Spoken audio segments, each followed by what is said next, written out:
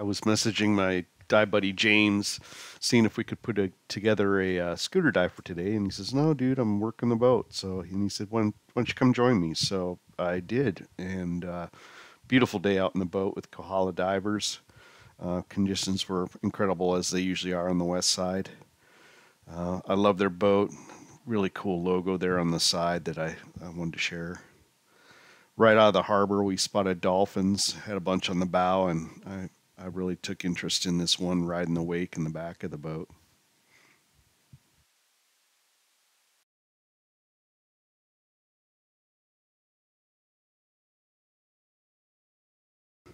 As soon as I dropped down, I got a visit from my favorite butterfly fish, the raccoon butterfly fish. All these four large peacock groupers hanging out and thought maybe there was something going on like a hunting party. Never did figure it out. And then right at the end of shooting some video, I got photo bombed by a millet butterfly fish. So I went and included them as well. This is James and Kevin. They were part of our group. One of them asked me to videotape, and the other seemed quite surprised. A rather large frogfish hanging out here.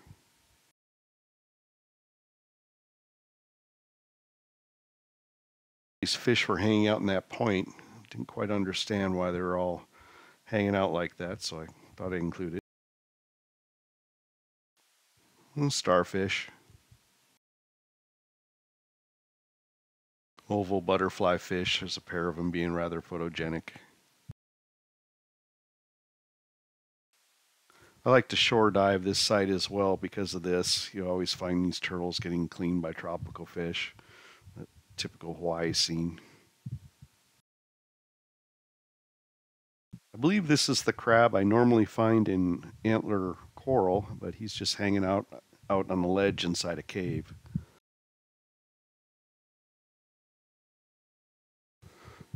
There's a lot of underwater caves in Hawaii, all these old lava tubes and fish love to hang out there and you can see all these ones they running into another part of the lava tube.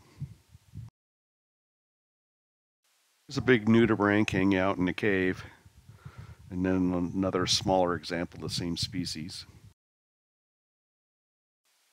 There's a cowrie shell, a tiger cowrie shell. What's interesting about this is if you look behind it, you can actually see a reticulated cowrie shell as well. Kind of neat to have them in the both the same scene. So this video almost didn't make the cut. There's a, a shrimp you might not be able to see that I was going to uh, videotape and then the fish just stirred up all the water.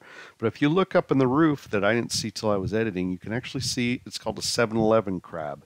They have these distinctive purple spots up there in the ceiling of the, the cave.